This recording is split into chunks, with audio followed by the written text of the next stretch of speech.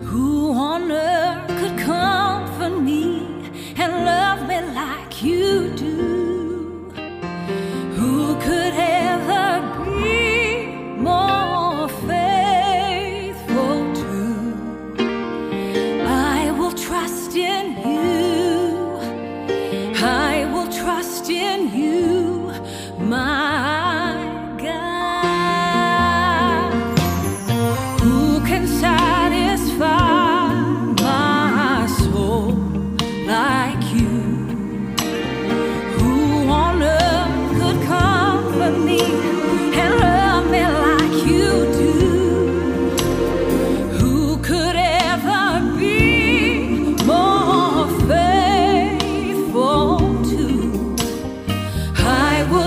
trust in you.